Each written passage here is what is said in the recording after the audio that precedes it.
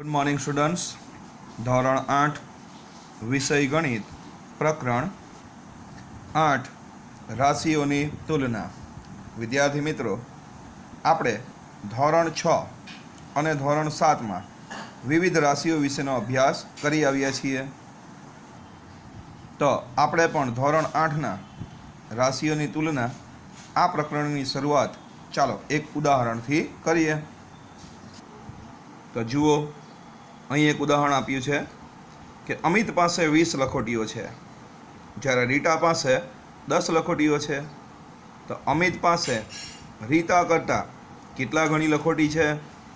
તો તમે તરત જ કહેશો, કેટલા ઘણી લખોટી છે? બે ઘણી લખોટી. એટલે અહીં બે ઘણી લખોટી આપણે કહી શકીએ કે રીટા પાસ, અમિત પાસે રીટા કરતાં કેટલા ઘણી લખોટીઓ છે? બે ઘણી લખોટીઓ છે. પરંતુ આ બે ગણી લખોટીઓ કઈ રીતે મળે છે? તો જ્યારે આ વીસ જે છે, એનો દસ વડે ભાગાકાર કરવામાં આવે, એટલે કે વીસના છેદમાં દસ, આ અપૂર્ણાંકો વિશે આપણે શીખીને આવ્યા છીએ, તો વીસ વડે જ્યારે વીસને જ્યારે દસ વડે ભાગાકાર કરવામાં આવે, તો આપણને જુઓ જવાબ મળે છે દસ દુ વીસ, એટલે કે બે મળે.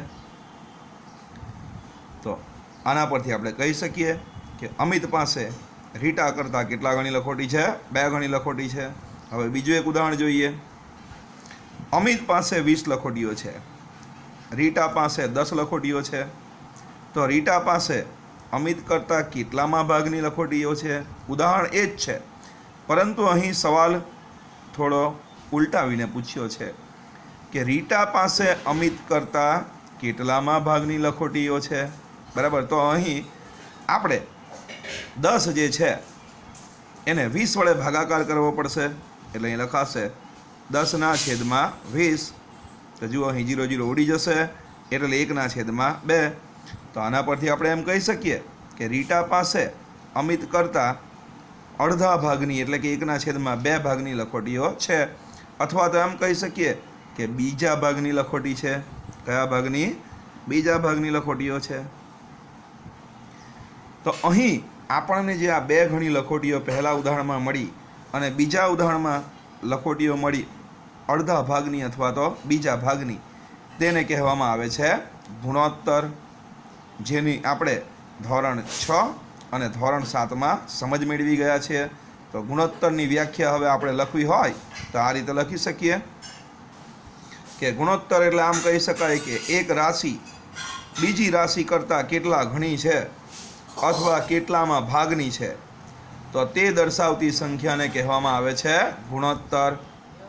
તો વિદ્યાર્થી મિત્રો, ગુણોત્તર વિશે સરળતાથી ખ્યાલ આવી જાય એવું જ છે. તો ગુણોત્તર એટલે શું? ફરી પાછું કે એક રાશિ બીજી રાશિ કરતાં કેટલા ઘણી છે અથવા કેટલામાં ભાગની છે તે દર્શાવતી સંખ્યા તેને કહેવામાં આવે છે ગુણોત્તર. તો આ રીતે જ્યારે ગુણોત્તર શોધવો હોય, તો ત્યારે પ્રથમ સંખ્યા એટલે કે અહીં પ્રથમ જે આપ્યું હોય તેને અંશમાં લખાય અને જે બીજું આપ્યું હોય અથવા તો જેની પાછળ કરતા હોય તેને ક્યાં લખવામાં આવે છે? છેદમાં. તે જ રીતે અહીં પણ જુઓ, રીટા પાસે અમિત કરતા એટલે જેની પાછળ કરતા છે એને ક્યાં લખવામાં આવે છે? છેદમાં. વિદ્યાર્થી મિત્રો, ગુણોત્તર લખતી વખતે આ બાબતનું ખાસ ધ્યાન રાખવાનું છે. હવે વિદ્યાર્થી મિત્રો, ધોરણ સાતમાં આપણે એક બીજી રાશિ વિશે શીખી આવ્યા છીએ અને તે રાશિ છે ટકા.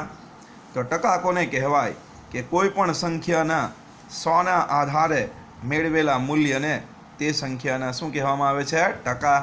અને આ ટકા દર્શાવવા માટેનો સંકેત આ પ્રમાણેનો છે. તો ખાસ તમારે ધ્યાન રાખવાનું છે કે ટકા કોને કહેવાય કે કોઈ પણ સંખ્યાનું સોને આધારે જે મૂલ્ય મળે છે તેને કહેવામાં આવે છે તે સંખ્યાના ટકા. તો ચાલો આ ટકા કઈ રીતે શોધી શકાય?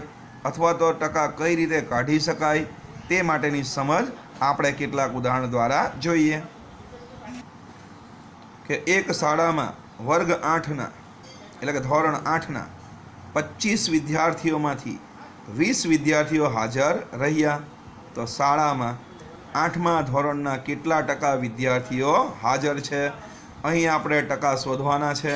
બરાબર, તો ટકા શોધવાના હોય તો આપણે હમણાં જ ચર્ચા કરી ગયા. કે ટકા કયા મૂલ્યના આધારે શોધવામાં આવે છે? સોને આધારે.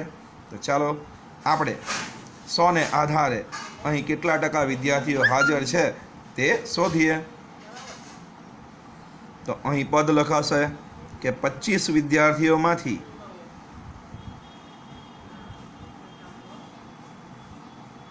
હાજર વિદ્યાર્થીઓ બરાબર કેટલા છે? વીસ વિદ્યાર્થીઓ છે. માટે ટકા સોને આધારે શોધવાના છે એટલે અહીં લખાશે કે સો વિદ્યાર્થીઓમાંથી હાજર વિદ્યાર્થીઓ બરાબર કેટલા? ચાલો, હવે પદમાં આપણે ગુણાકાર કરતા શીખી ગયા છીએ કે આનો અને આનો ગુણાકાર થશે. જ્યારે ઉપરની જે સંખ્યા છે તેને ક્યાં લખવામાં આવે છે? છેદમાં.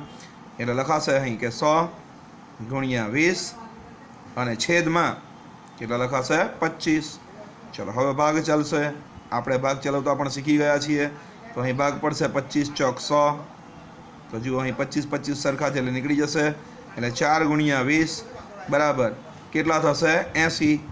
માટે આપણે કહી શકીએ કે વર્ગમાં એંસી ટકા વિદ્યાર્થીઓ હાજર છે. તો આ જ પ્રમાણે આપણે એક બીજું ઉદાહરણ જોઈએ, બરાબર?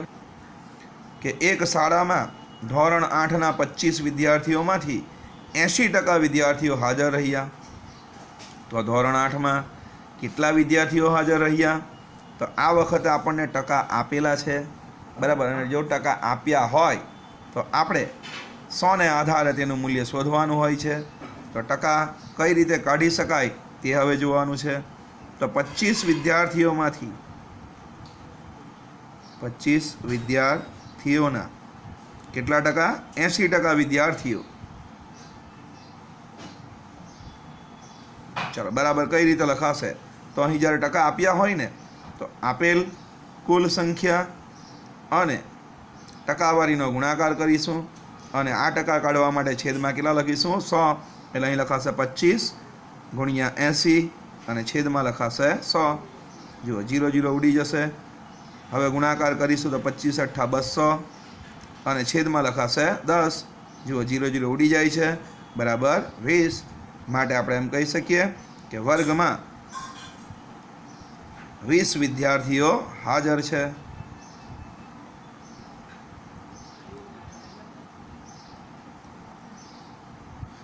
તો આ રીતે વિદ્યાર્થી મિત્રો, આપણે ટકા શોધી શકીએ છીએ અને આપેલ ટકાનું સંખ્યામાં રૂપાંતરણ કરી શકીએ છીએ.